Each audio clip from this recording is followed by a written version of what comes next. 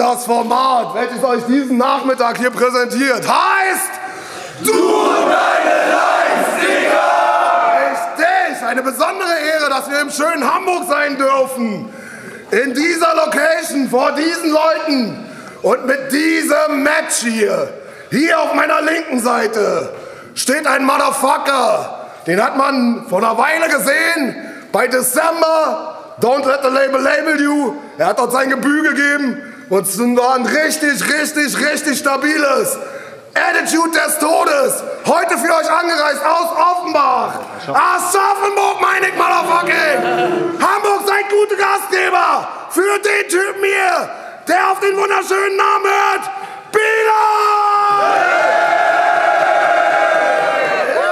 Yes. Und ihm gegenüber steht ein echter Hamburger Jung. Er kann's on Beat, er kann's auf Tracks und er kann's nachweislich auch a cappella. Todes-Attitude ebenfalls. Und wir erwarten uns jetzt hier einen richtigen Banger von beiden. Deshalb Hamburg, hier steht euer Home Representer. Macht mies Lärm für Alko! Aber Oberhafen City, das Match geht auf dieser Seite hier los. Alle jetzt die Klappe halten. Und wenn's ja. abgeht, maximal eskalieren. Erste Runde.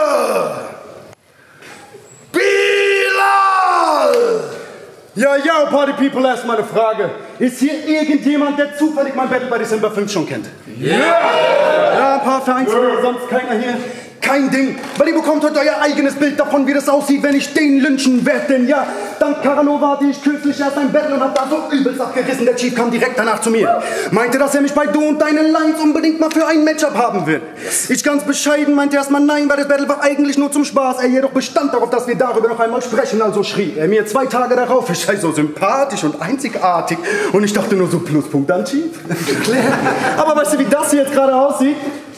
Ja, als wäre ich extra nach Hamburg gekommen und würde dir deinen scheiß Pluspunkt abziehen, denn das war nicht nur beleidigend, Digga. Damit hast du mich sowas von würdelos gefickt. Sollte ich nochmal ein Doodle Battle machen und sich sowas wiederholen, geh meine nächsten drei Verses erstmal an dich, denn oh. du und deine Lines, du und deine Lines präsentiert heute Alko. Der Typ, der so hässlich ist, bei seinem Debüt in der ersten ist nach seinem Anblick erstmal direkt jemand umgekippt und dann verchockt er die letzte Runde. Battle aber trotzdem. Aber halt auch nur, weil sein Gegner keine dritte Runde kickt. Gegen Geh zu dem ILAL, ich wollte das wirklich gar nicht. Bin bei December 5 als No-Name mit dem letzten Battle des Abends ja sozusagen trotzdem mit dem Main-Match ins Biss gestartet. Und das macht das Ganze hier zwar nicht zu einer seismisch aktiven Zone, aber scheiße mache ich das hier heute zu The Ring of Fire, Motherfucker, let's get it poppin'. Yeah! Du bist zu dir, Digga. Weil als ich dich das erste Mal sah, ja, da musste ich wirklich schmunzeln, du Stricher. Siehst nämlich ganz genau aus wie die seine Emoji, das als Mund nur so ein Strich hat. Von dieser Nase mal abgesehen und diesen komischen Flecken. Elvis, er ist heute Morgen so aus seinem Grab heraus. You look like a little bit ungesund, Dicker. Ah. Und dann frontest du Baretta, damit das er zu 50% aus Unterkiefer besteht. Und sind wir mal ganz ehrlich, Hombre, ich finde sie nicht gut, deine Strophe. Denn dieser Front kam von einem Dude, dessen Kopf selbst so aussieht, als hätte man einen fetzen tote Haut über einen Fußball gezogen. yeah. Und die Crowd ist schon so, uh, das ist hart. Und ich so, nein, das ist scheiße. Sieht der nicht eins zu eins aus wie Contra K? Nach zwei Jahren als Wasserleiche. Jedes Mal, wenn ich mir dich ansehe, denke ich, fuck, die erste Zombie-Apokalypse ist raus. Jedes Mal, wenn der mich sieht, weiß dieser Zombie, Apokalypse ist im Haus. Und das heißt, ich werde heute sowas von dein komplettes Universum mit seinen einzelnen Atome zerlegen, dass selbst Thanos dazu sagt, von diesem Bieler kann man wahrlich noch lernen, Junge. Endgame. Yeah! Alter, was eine Runde Hamburg. Mach doch mal Lärm für die erste Runde von Bieler.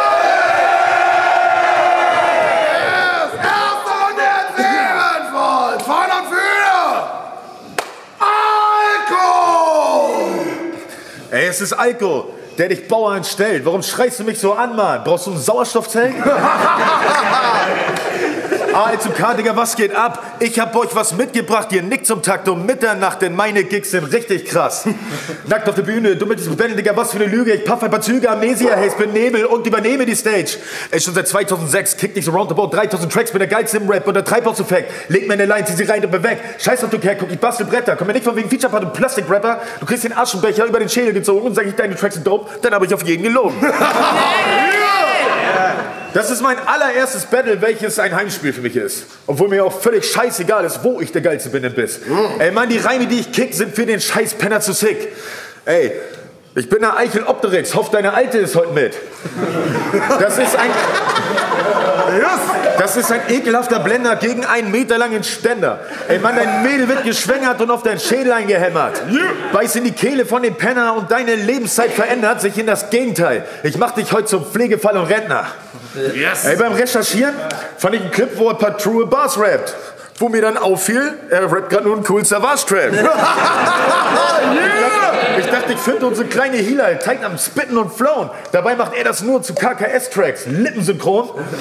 Den Wichser gibt es gar nicht. Ich meine, die Blamage ist heftig. Wenn du mich recherchierst, dann bist du ein paar Tage beschäftigt. Ich bin ein Rapper, der durch Deutschland mit seinen Bars marschiert. Du bist ein Rapper, der bei Instagram seinen Arsch rasiert. nee, kein Scheiß, Mann. Er sagt, er sagt, meine Freundin, die freut sich total. Die mag's rasiert, denn die Schlampe gibt's mir häufig anal. Ey, heute, heute werdet ihr Zeuge der Qual. Ey, das wird heute dein Schicksal. Du fickst deine Mutter an Ramadan und leugnest es nicht mehr. Oh! Time, Diggi! Mach Lärm für diese Runde von Heiko! Ja, voll in die Zwölf nämlich! Zweite Runde, Hamburg! Bilal! Okay, wir hatten es ja eben schon davon, dass mich hier eigentlich kein Schwanz kennt und scheiß drauf. Von mir aus übernehme ich hier auch gerne die Rolle des Underdogs. Aber von uns beiden bist du derjenige, der hängt. Spätestens morgen früh und zwar an den Docks, Junge. Ich hab schon einmal gesagt, das hier ist ein ganz anderes Kaliber. Will der Chief einen nervigen Motherfucker loswerden, ja dann holt er halt ganz einfach Bilal. Das ist just the life of a killer. Weil ich fahre eine ewig weite Strecke und gib die Knete vor Ort Cash, dann nehme ich so einem Opfer das Leben. Junge, ich werde heute so viel Bomben über dir abwerfen, Hamburg wäre danach froh, es wäre nur Operation Gomorra gewesen. Scheiße, Fotze, Alter. Weil wie der zum Beispiel in seinen Videos immer einen auf hart macht und actet wie der gestörteste Aufschlitzer. Junge, ich schneid hier heute einmal so zack die Backe auf, dann siehst du Bastard aus wie Merkulis, du Wichser. Aber über Merkulis sagen ja wenigstens die meisten noch ein Rap-Dope, du scheiß Missgeburten-Mix aus einem kontaminierten von The Hills Have Eis und Fettshow, Junge. Du regst mich auf, Alter. Vor allem wegen deinem Benehmen in Interviews. Sagt er doch tatsächlich zu Freundin des Gegners, sie ist süß. Hauptsache vorher eine komplette Runde gebettelt und dann den Schwanz einziehen wie so ein ängstlicher Köter und dann lass doch einfach das Bellen. Du machst dich damit hier selbst nur zu einem Reinfall. Mach so eine Scheiße heute einmal bei mir und es klatscht. Aber kein Beifall. Oder zumindest würdest an einer Stelle wie dieser ja wahrscheinlich du das sagen, denn du kommst ja öfter mal um die Ecke, präsentierst dann in einem Bett irgendwelche Sprüche aus deines Großvaters Jugendtagen, von wegen ich tritt dir eine Wendeltreppe in den Rücken. Oder wär ich du, wär ich lieber ich. Stehst dann da vor dem Gegner und denkst, du hast ihn gut gedisst, aber Junge, ich soll dir von deinem Opa ausrichten, dass du ein Feld, nee, dass du ein fältiger Wichser aufhören sollst, deine Witze zu klauen. Und dass du ein Hurensohn bist, Digga. Siehst du mal, Alter, nicht mal dein Opa mag dich. Ich habe wirklich vollstes Verständnis für deine Eltern. Ich meine, was will man mit dir? Erinnert er sich zurück an seine Kindertage, sieht er einen Kinderwagen mit einem Schild dran, auf dem steht Kind zum Entführen. Aber daraus ist ja bis heute wohl leider eher nichts geworden, weil seine Mutter hatte so viel Liebe für den Über. Die hat den nie fallen gelassen, die hat den hingeworfen. Zeigt. Hamburg,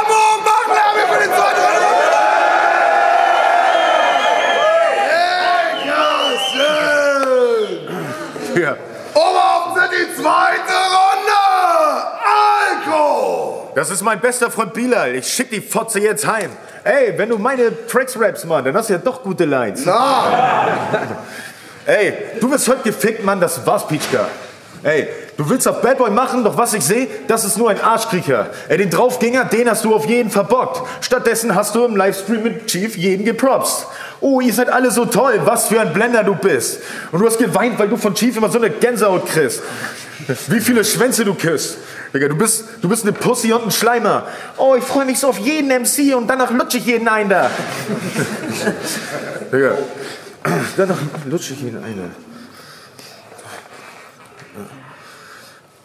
A, zu K. Sorry. Einmal kurz Luft holen. Ey, es ist Alko. Bruder, zieh die Neuner, sonst schick ich dich auf die Reise, Bruder, wie Zigeuner. Ey, es wird ziemlich teuer, denn du zahlst mit deinem Leben. Ich fick drauf, wer du bist, denn ich schlag mich mit jedem Baller Nasen vom Tresen, du kleiner Gangster, und puste Amnesia-Qualm aus meinem Seitenfenster. Ich komme mit Schlägern aus der Hut, du mit 30 Rentnern. Ich bin ein Unikat, lass mich von kein verändern. Ich nötige deine Freundin geduldiger zu blasen. Komm dann durch die Hintertür, lieber entschuldigen als fragen. Ich fick sie kaputt, zwei Kamakras geschluckt, und zwar in dem Elternhaus, schlag ihren Vater kaputt. Hasta la vista und Cella Beat. Der Tisch fällt batzen von der Straße und einem Teller Speed. Was für ein schneller Beat. Ey Mann, ich baller mir ein paar Nasen und dann bring ich selbst Balladen nur in Double-Time-Passagen. Yeah, ey, ey, mich kann keiner mehr schlagen, denn letztendlich bin ich über jeden Zweifel erhaben. Der Geilste sozusagen. Nenn die Scheiße mal beim Namen und dann geh mir aus den Augen, hast du weiter nichts zu sagen. Time. Yes! Mach Lärm für die Rolle Monaco! Hamburg, beide MCs! Jeweils noch eine Runde beginnen bei Bilal! Männers! Hört auf ihr Rennen zu tuscheln, Alter! Losen! Ja, war klar, dass du irgendwie was davon babelst, meine Alter zu bumsen, Alter. Aber geil, ist gar kein Problem, Digga, weil ich hab äh, gehofft, dass du deine Alter auch mitbringst. Hab nämlich extra ein paar Homies dabei, die wollten das Battle hier sehen, aber die haben gemeint, die wollen halt auch ficken. so, okay, machen wir die letzte fertig ist, oder? Yes! So, ihr habt ja jetzt alle zwei, zwei Runden, ne? zwei, zwei Runden lang hören können, womit dieses ekelhafte Scheuse alles heute versucht. Und könnt mit Sicherheit verstehen, wenn ich sage, gegen den Engel zu picken, war wie in einem Heuhaufen Heu zu suchen, Digga. oder wie die Fahndung nach Sand am Strand oder Nutten in seiner Fam. Im Gegensatz zu dem Shit ist das, was ich spit, so heiß, ich komme in deine Hut rein. Und sie brennt, Junge. Yeah. Und dieses wieder Motherfucker Rap Skill Level on top. Ich bin so fly, ich dreh mir ein, setz mich und chill den mit Gott, Junge. Was willst du mir erzählen, Alter? Im Gegensatz zu dem hier, der ist nämlich einer, der, wenn er merkt, dass seine hässliche Betonung floppt und dass er stottert beim Acten meint, er müsste das Ganze mit einem halbgaren Double Time retten, Junge. Ekelhaft. Aber damit hast du die ganze Crowd ja nochmal verzaubert. Ich hingegen fand das nicht wirklich dope. Ich meine, der Double Time war so magisch, der bekam einen Platz in Hogwarts und der sprechende Hut so eindeutig Griffins Klo. Nice! Wenn man was nicht kann, sollte man es einfach lassen. Der hingegen steppt hier in seiner scheiß Heimatstadt zum Battle und will sich wirklich beweisen, dass er den scheiß Kaderbaum muss dann sehen, die Leute finden es scheiße. Jedes Mal, wenn du redest, der Blick von denen auf die, bitte sei leise, kommst dann mit deinen ganzen Homies, aber hier im Kreis drin stirbst du alleine. Junge, zwei Zentimeter vor dir, meine Stirn berührt deine und ein starrender Blick, der dir suggeriert, jeden Moment gibt er mir eine. Let's go. Runterkommen. Beruhig dich, yo. Es ist nur ein Battle.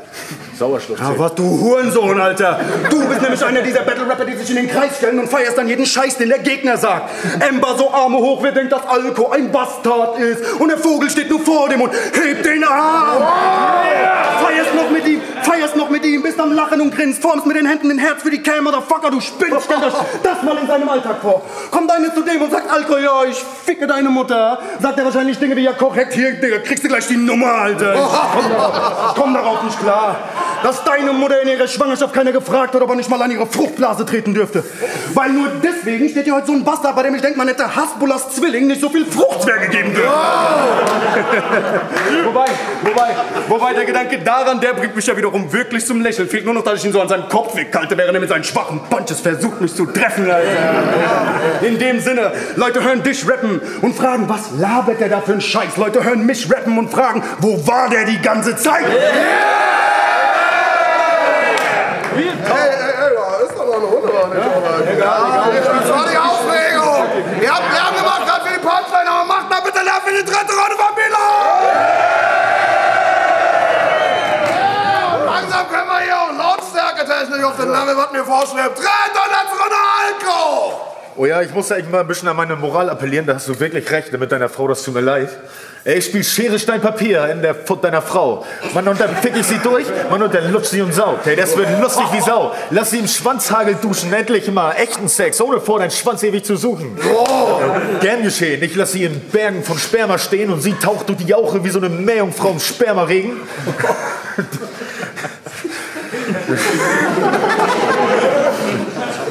Und du, du kannst dabei gerne zusehen und dann sterben gehen. Okay. Ja. Ey, es ist Alko, der dich heute zerreißt, du weißt. Und dann holst du deine Kohle raus. Denn ohne Fleiß kein Preis. Ey, ich bin bald schon reich, also sei nett und bezahl. Ja, ich bin zwar weiß wie Käse, obwohl ich rap wie Jamal. Und ja, man, ich, und ja, man, ich will Scheine dafür. Ey, ganz ehrlich, bezahlst du nicht sofort, Mann? Hast du keine Manieren? Ich werde dein Weib penetrieren und gehe dann, heim und, und geh dann heim und bin hier. Spaß, Mann. Oh, scheiße, Mann. Hier. Ja. Ja, Time. Alright. Ihr habt alle gesehen. Trotzdem, Lärm bitte für die Runde von Heiko!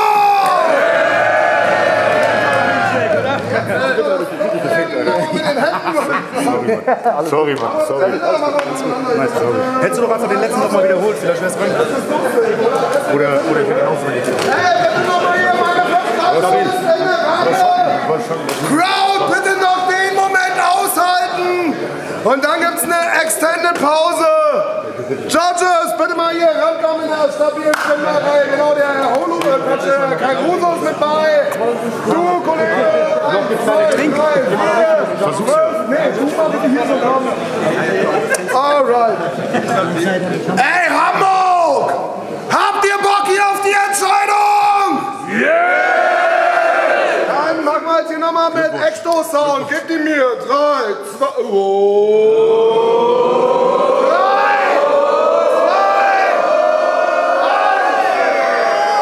zwei, eindeutig. Alright, alright. Ey, speziell in der Runde, äh, dritten Runde hat man ja gesehen, war Geil, ne? Todesgeil. Todesgeil bisschen Optimierungsbedarf. Trotzdem, riesengeile Leistung. Hier vor eigener Kulisse. Macht Lärm für Alko! Aber, aber, Gewinner dieses Battles. Nach dem Monsterdebüt hier gleich nochmal überbrutal nachgelegt. Hamburg macht Lärm für Bilal!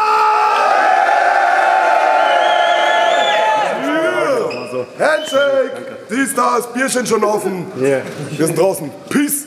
Ja, Bilal hat gewonnen und nachdem klar war, dass er mit äh, Gott ein Jibbo raucht und seine Performance überkrank war, habe ich versucht, so ein bisschen auf seine Lines zu achten und äh, wie kreativ er die aufbaut. Und allein das hat er schon so viel besser gemacht als ähm, Alko. Zumal Alko in der zweiten Runde ganz sicher einen Text gebracht hat. Das finde ich immer super scheiße. Und äh, die Chokes auch, also insofern ganz klar. Bilal. Jo, ähm, Bilal, krasse Delivery, krasse Punchlines, hat abgerissen. Ähm, Alko war mega witzig. Er hat aber allerdings schon in der ersten Runde sein Handy rausgeholt, um nach dem Text zu gucken. So. Das hat man gemerkt in seiner Performance. Ich glaube sogar, er hat in der zweiten Runde einen 16er gekickt von einem seiner Songs. So. Ähm, nichtsdestotrotz, mega unterhaltsam, aber ganz klares Ding an Bilal. Ja, äh, Bilal, übelst krasse Energie, so mega heftig. Seine dritte Runde, Kopf-an-Kopf-Ding, Alter, auf jeden Fall. Und ähm, ja, ganz klares Ding an ihn auf jeden Fall. So, aber übelst geile Atmosphäre. Jo, ich glaube, das Match gerade war sehr, sehr deutlich. Alko war heute sowohl von den Punchlines als auch von der Performance, als auch von der Textsicherheit nicht so richtig am Start. Ähm, Bilal kann textlich, glaube ich, auch noch ein bisschen was ausbauen, aber alter, energietechnisch eine der geilsten Performances, die wir in letzter Zeit überhaupt gesehen haben. Das war richtig, richtig killer. Deswegen sehr, sehr deutlich 3-0 an Bilal. Ähm, ja, mein Vote ging äh, an Bilal, einfach weil er ähm, konstant halt auch diesen, also er hat mehr Hunger gehabt, wobei ich auch sagen muss, Alko war sehr, sehr witzig, hat halt, ähm, hätte in der zweiten und dritten Runde halt nicht ganz so die Energie verloren, hätte auch nicht die Crowd verloren und ähm, ich denke, wahrscheinlich die ersten zwei Runden haben ihn so stark beeinflusst, dass er da wahrscheinlich auch rausgekommen ist. Könnte möglich sein. Auf jeden Fall Bilal on top, äh, hat ihn einfach gefressen und ja, daher mein Wort an ihn.